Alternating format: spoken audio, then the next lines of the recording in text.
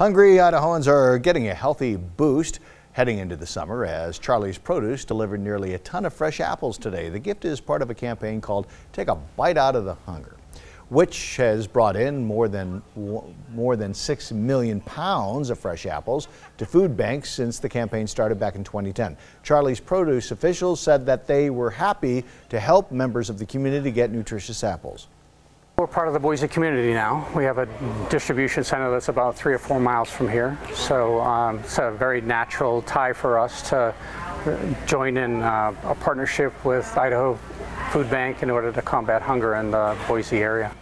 Just last year, the campaign brought in more than 250,000 pounds of apples around the country to food banks like the Idaho Food Bank in Boise.